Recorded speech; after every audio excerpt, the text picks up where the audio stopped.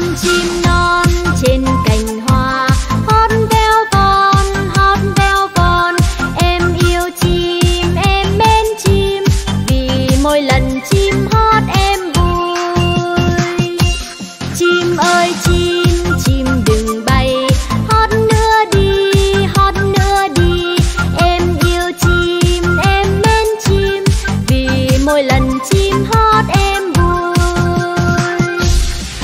chim nói